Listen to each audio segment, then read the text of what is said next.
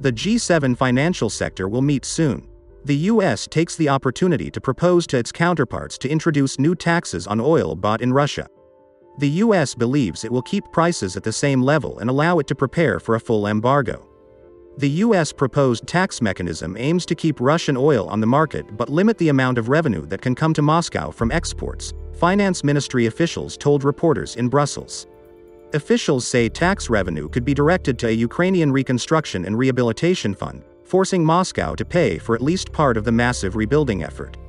Officials also said many governments are eager to stop buying Russian oil as soon as possible, but that's because of the high risk that a full embargo could significantly raise oil prices. According to Rystad Energy, an independent research firm advising investors, even with an expected sharp drop in oil production this year, Russian tax revenues will rise significantly to more than $180 billion because of higher oil prices. That's 45% more than in 2021. All in all, the oil tanker traffic data shows that crude oil exports from Russia have declined by no more than 20%, a modest figure given the sanctions measures. A Spire Global study shows that the number of oil tankers departing Russian ports has dropped from an average of 17 to 13 per day since U.S. sanctions were announced on March 8. The nature of oil markets and slow changes in consumer habits mean that relatively small shortages can lead to significant price increases.